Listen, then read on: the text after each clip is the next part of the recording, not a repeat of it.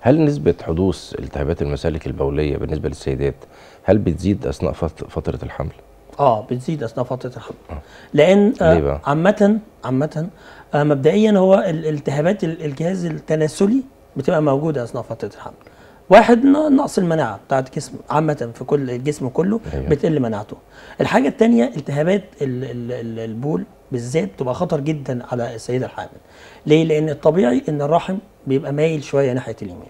مع الحمل بيحصل دايما انسداد جزئي مش انسداد ولكن تضخم كده بسيط ضغط في من الكلى. الرحم على ضغط من على الرحم الحالب. على الحالب. بالظبط كده. أيوة. فبيحصل شوية تضخم بسيط في الكلى. فالكلى ما بتوع- تعتبر ما بتسربش البول بصورة كاملة زي ما كانت قبل الحمل. وبالتالي بيبقى عندي عرضة إن أنا عندي دلوقتي كلية متلصمة. يعني فيها شوية انسداد بسيط. آه. لو جه عليها التهاب التهاب وجود عدوى أو بكتيريا مع انسداد الكلى ده ممكن يبوظ الكلى كلها. ال- ده خطر كبير قوي على على السيده الحامل. عشان كده آه، إحنا أو يعني آه، حتى دكاترة النساء دايما على الشهر الثالث والرابع لازم يطلبوا مزرعة بول ويطلبوا تحليل بول حتى لو هي ما بتشتكيش من حاجة. يعني حتى لو المريضه تحسباً لو يعني في المريضة التهابات. خفية بالظبط كده. مش- آه، مش- أي واحدة. حامل. المفروض على الشهر الثالث الرابع على ال second trimester بنطلب هم حتى دكاترة النساء بيطلبوا تحليل بول ومزرعة بول عشان يطمنوا إن ما فيش التهابات.